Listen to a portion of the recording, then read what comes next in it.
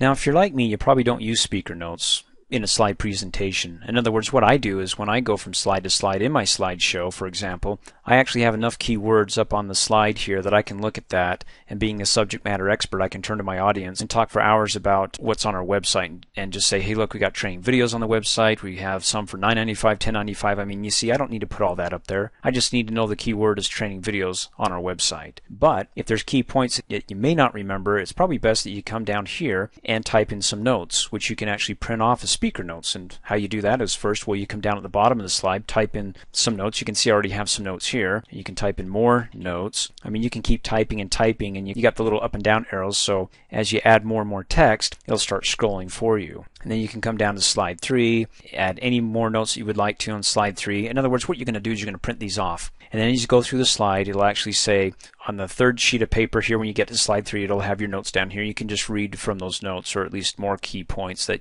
maybe you didn't want to put up on the slide for everybody to read.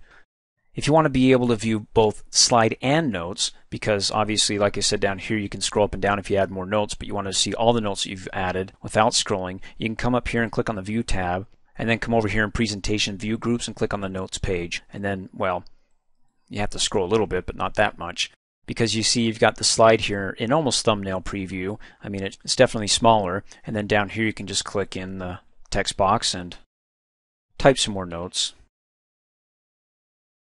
At least that way, you know, you can see the majority of your notes and compare it to the slide above to make sure you got the key points addressed down in your text box here. So when it comes time to print them off, it's actually going to make sense. So you're not actually fumbling through your notes here. I mean, right now I can look at the keywords, at least it's close enough to the text box I can match it, but of course as I get down further here, I'm not going to be able to see it. In fact, if I keep scrolling, it'll take me from page 5 to 9 to 10 to 11 to 12.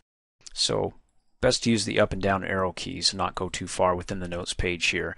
If I get too far down, it'll take me pop to the next slide. Now to print these off, I'm going to come back and click on the normal view. And to print them off, just come up here, click on the Office logo button, come down and click on Print, or you can come over here and click on Print. It doesn't matter. It still brings my printer settings before I print them off. Click and drag the uh, title bar over. What do I want to print? Do I want to print slides? No. I'm going to click on the drop down arrow and say I want to print my note pages. Well, if I want to see what it looks like before they actually print off, you want to click on your preview button. Let me click on that, and what you see is what you're going to get. It's going to print off in black and white. And I have no notes on this page. I mean, this is slide one. I mean, what am I going to say about it? Dreamforce, hey, we're a happy company. Going to come up here and click on next page, go to the next page.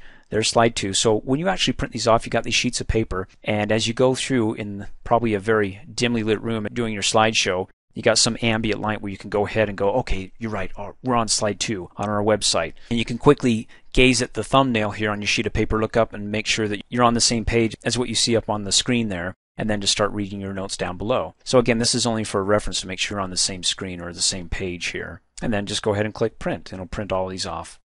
When you're finished, go ahead and click close and you're back to square one. One final thing I'd like to show you is that you can have handouts. In other words, I'm going to go back to my Office logo and click on print. And then on print what, you can click on the drop down arrow and select handouts. And then go ahead and click preview. I want to show you something. When you have handouts, you got six per page. I mean, it puts it all there, and, and for the most part, it's in black and white, except for your images here, except those are going to be in color, which is fine. I mean, if, if you have a color printer. The trick here is, is that you can have your slides in, in thumbnail views on so many on a page, so that your audience can have a quick overview of what you're about to cover, and they can write their own little notes, like just below each thumbnail print that you give to them. Or better yet, if you want to have lines over next to each slide, then you want to change your handouts three slides per page. And this is the only time it'll actually add lines if you choose three per page. Anything else, and it's just going to bunch them up. For example, like two per page, doesn't give you the lines. And you'll notice on the handouts, it doesn't print the notes. Again, the notes page are for you, the handouts are going to be for your audience.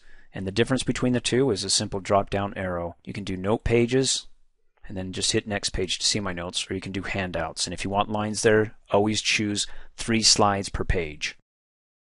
Thanks for watching. Hey, as a quick reminder, if you like my video, please give it a thumbs up. You can also click on me and subscribe to my channel, get notified of the latest videos, and for only $2 a month, you can have access to all my Microsoft Office training videos.